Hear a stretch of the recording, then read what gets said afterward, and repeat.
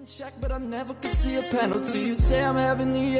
they're gonna cancel me, they're gonna cancel me. Wide awake, listening to the rebels creep, slithering into different amphetamines like a centipede. My theory is I don't care.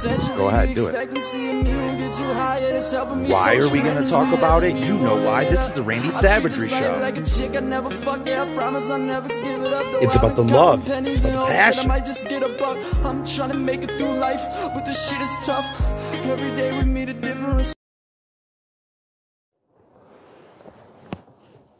and welcome to the Randy Savagery Show. Come on, come on.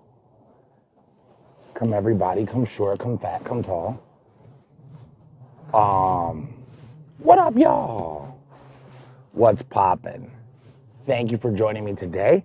Um, first and foremost, I want to say thank you to the people that have sent me donations.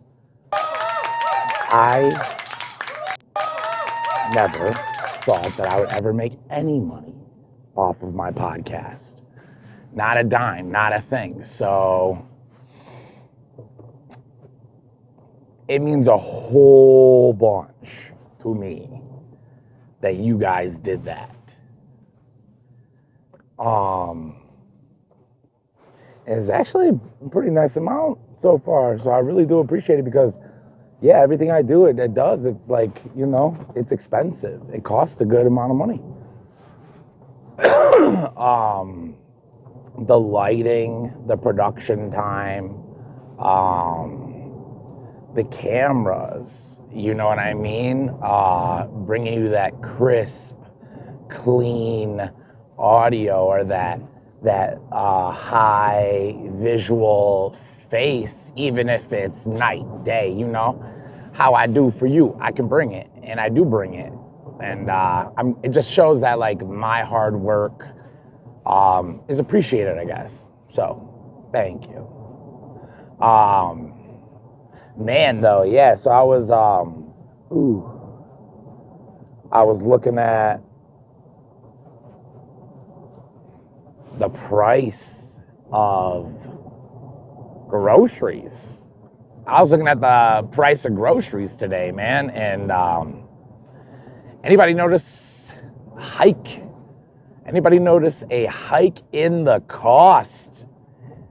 Dude, like I was looking actually at like different um, apartments as well, you know, because you know, always got to stay up on the market, and I think I'm I want to be moving pretty soon. Um, dude, a one bedroom in uh, Oakland County in Michigan, it cost. I think it started at 750 to 900. And then uh, the two bedrooms went all the way up to 1200. And I was thinking, man, like I just got my lease last year, last year where I am now. And, uh, you know, it's $800 for a two bedroom. So it's crazy to me how much it costs so much more, but they're not paying so much more. You know, like a, a normal factory job right now is hiring at like 20 bucks an hour. I think that's $3 more than it was before this price hike. But the price hike, dude, is uh it's no joke. It's a lot. It's a lot of cashola and I don't think that it's equaling equaling out like the how much that they're paying more compared to how hiked up that price is. You feel me? Hmm. We got that nighttime cam. We got that nighttime cam. We got that shadow cam. Perfect face shot, though. You know what I mean? Although you can't see really too much else. But hopefully it gives it like a cool spooky vibe, you know? I saw that if I go boof, face is gone, you know, but spooky vibe if I sit with uh, with correct posture. So um, yeah, dude. I mean, trust me, this hat, this red hat, it's no MAGA hat. It doesn't say uh, it doesn't say Trump forever, you know. I'm not a I'm not a conservative or a Democrat or any of that. You know, that's like two two different wings to a bullshit bird, baby. And uh you know, that's for the birds. I don't even eat bullshit. I like steak. You know, somewhat of a separatist if you ask me. No, I'm kidding. But um, yeah, so like, I don't like Donald Trump, but dude, everything was way cheaper back in the Trump day. You know, like uh like there was a lot of media, like every day the media would like bombard us with how much he's like, you know, the devil. You know? That's really what was annoying and like put me on edge. Like you turn you turn the fucking you turn the bleeping TV on and it'd be like, you know, Trump about to push the button on Afghanistan bombs. And like you know he did he did that one wild thing where he he killed uh Asalami Asalayama or whatever. I can't remember his name anymore but uh you know fact checkers fact check me. Uh he like drone striked him at an airport. And when I looked into the official report I'm pretty sure it killed three people. So I'm pretty sure it killed some civilians too you know to me, that's that boo boo behavior. I'm not into that, but you know, if if a drone strike to a couple uh, Afghani civilians is what's gonna take, you know, to bring bring my McDonald's bill back down to six dollars. God. Ugh it's just extraordinary. It's extraordinary, people. I'm feeling the squeeze. I'm feeling that squeeze. that Democratic pocket squeeze. You know, we'll have these niggers voting blue for 150 years. And they are, they do too. It's crazy too. I don't understand. Like, I, and honestly, and it's, it's crazy. Like, if I talk to a black person, I'll look over and be like, hey, man, shit's fucked up right now, huh? They'll be like, yeah. I'll be like, it was a lot cheaper before, huh? And they'll, they'll end it with, man, I'm just glad I ain't got to hear that motherfucker's mouth no more. And I'm like, ah, avoidance. God. You know, here's the thing, ladies and gentlemen. I've said it once, I'll say it again. I don't care necessarily. Um, when I look back at when I was growing up, I look back. I don't I don't think about how I was like, man, oh man, I remember when my mom made me start exercising and uh there was a time when like uh, her boyfriend at the time he made me walk which probably like maybe 2.3 miles right? Not even that far but i was really overweight. I remember but it was really hot too though. It was like 90 degrees. It was hot outside i remember just crying and still walking, feeling out of breath. It was so hard, you know. And this cat, he just had his hands in his pocket, you know, ignored my emotional responses, uh, calm, cool, not like picking on me, but not helping me either, you know. I had to just dig deep. And looking back at that experience, like, you know what? I, I don't remember uh, thinking, like, oh man, what a piece of crap, like, piece of garbage, trash. And like, oh, I hated him so bad I look back at that and I'm like, oh, I grew from that experience. Very powerful, actually. I, I and I, I think back and think, man, I'm thankful to uh, him for that, you know. But um, I don't, I don't. Uh, he doesn't even remember that. You know what? He remembers me being a little brat about it, and probably thinks, man, that kid fucking hates me and that. Man, he was a little brat. You know, who knows? But that powerful experience, I get to draw off that, and he doesn't even know. So all I'm trying to say is like, I don't care if my president's an asshole, and when he's in and when he's in uh, office, like that, I'm like, man, this guy is so mean, and he hurts my feelings. You know, he's saying mean stuff. That's not really my uh, mo to care about. Really, what I really care about is like when I wake up in the morning, yawn, and I go to work how fat is the paycheck? How low are the grocery bills? And, uh, you know, uh, how high can I push my standard of life? You know?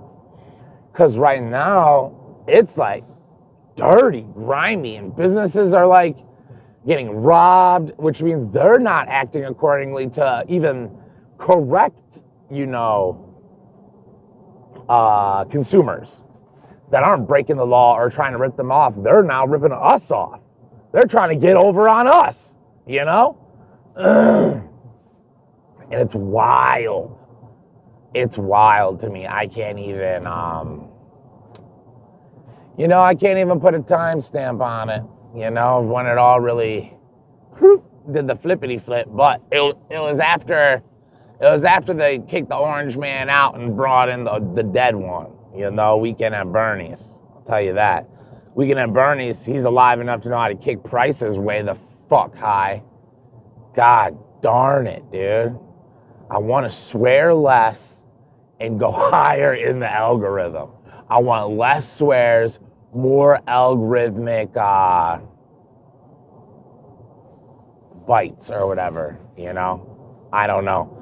But I'm just glad I got the sound right for you guys because the first anchor one that I uploaded, I I, I, I listened to it and then I, I really do gotta apologize. It, certainly, it sounds like uh, like a wind tunnel. Just it's horrible, man. It is not a uh, a joy to listen to, but this one actually seems as if it will be a joy to listen to. So I'm hoping that we don't have any uh, negative sounds or anything like that.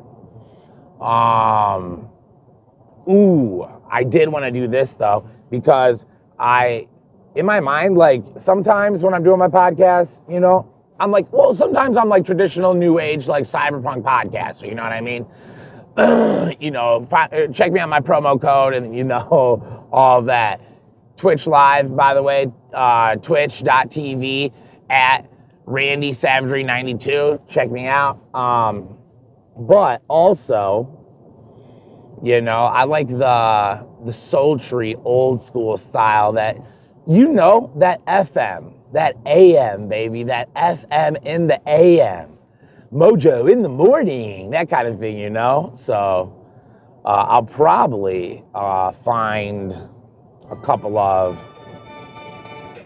Oh my god, dude! I'm sorry, guys. I thought that I already had. Uh, I thought that I already had the Bluetooth set up, and I'm a little bit embarrassed. I feel a little bit kind of like a piece of trash because I was making fun of the Mojo in the Morning guys, kind of, and then I uh, I was the one who was not prepared, and I don't like getting caught with my pants down. I like to get caught with my pants up and then be asked to take them down for sucking.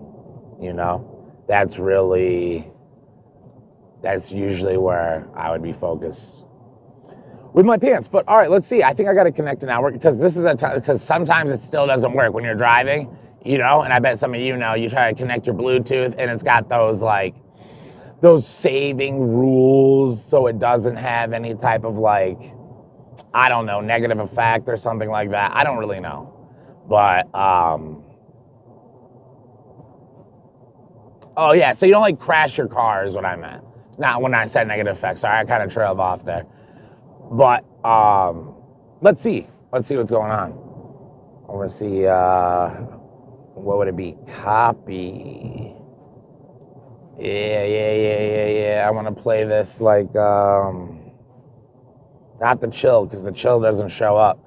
I want, I'm gonna do this a little bit like a DJ, you know, because I I don't see too many uh, podcasters do it like that. But I I, I wanna, you know what I'm saying? I want to put like a a beat on and just sit back. We're gonna listen to the beat, and I gotta do it copyright, y'all. I wish I could put on like something new for you, you know? I really do, but I think this is all we got right now. So, you know, you're with Randy Savagery in the morning. Uh, sit back, relax, and remember to check out Honey Dip Hair Care Products. That's right, Honey Dip Hair Care Products. This right now is a completely free promo that I'm shouting at at one of my personal favorite hair care products. They don't even pay me any money, ladies and gentlemen. I'm still shouting them out right now. Just doing it from the bottom of my heart all the way out. Because you want to know what? They keep my hair looking fresh. They keep my hair looking sultry and got that wet look and just feels just thick and full and healthy. So check them out, honeydiphaircare.com or on Facebook or it's one of those places. All right, let's go.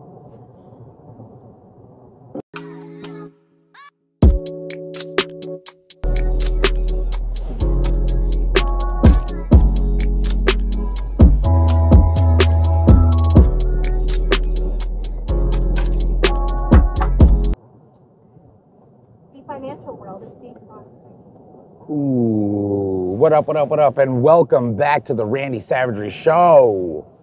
and she's right, little mama was talking about the financial world. It is coming to a shaky ground as our USD currency is rapidly declining and cryptocurrency is rapidly inclining, we are having quite the dynamic shift of power in the game that is currency. So, as I was saying before that song, that beautiful little, uh, you know, melody, um, right now we are dealing with basically what will end up being either a recession or uh, deciding, you know, if it's going to be, I don't know what you would call it, like that the quantitative, I think it's called quantitative easing, maybe, is uh, under correct balances that will do fine. I don't know. I don't see it that way just because, you know, I've been alive a pretty long time and, uh, well, not that long, ladies and gentlemen, you know, but long enough to, you know, buy gasoline in the in the early 2000s. So I remember, you know, in those prehistoric days back when flip phones were a thing, and I'm not talking about the ones with two screens on both sides, baby. You know, that um that was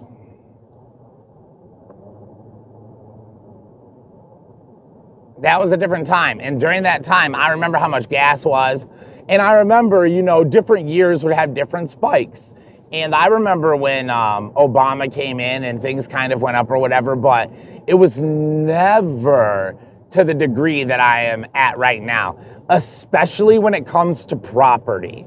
So, this whole thing, I don't know if you guys have looked around. I mean, yeah, like private sellers for homes obviously are still there through like, you know, um, your real your real estate agent, etc., whatever. But there used to be private renters, right? That was a thing. People used to own like, you know, duplexes and they would rent out to different people and whatnot. But it's interesting because now, now it's like you have to rent through um, agencies. Everything has been bought up by agencies. Now, there still is actual property owners, right? But what they do is that they, you know, they take a percentage.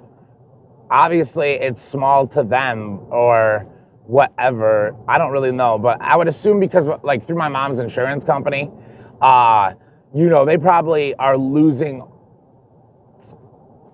probably losing like 35% of their profits to the mutual property management company, you know?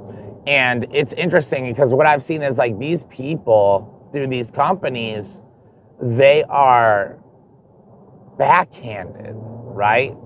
So personally, right now, I'm experiencing through my management company uh, what is known as, I think, um, give me a second to really think about it.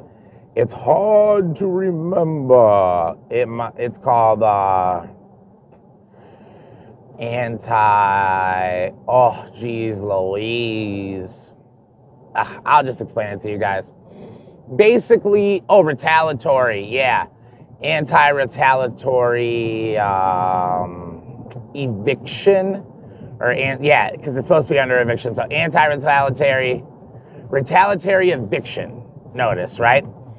So, basically, a landlord in Michigan, under Michigan law, like let's say you uh, let's say there's black mold on, on like the wall, or there was some type of either lease agreement like liability that should be taken care of, or a health code violation, right? Let's say it's one or the other. You as a as a um, what's it called? Like as a renter, it's your right to get those things taken care of, right? Now, some landlords or some people, have, as some people have called them, slumlord trash shitbags, right? They will do something called a retaliatory action. So let's say you force them to come out of money, but it's not your fault. It's something that they have to take care of according to the law, right? What they can do is now, you know, terminate your lease or evict you, right? Or something like that.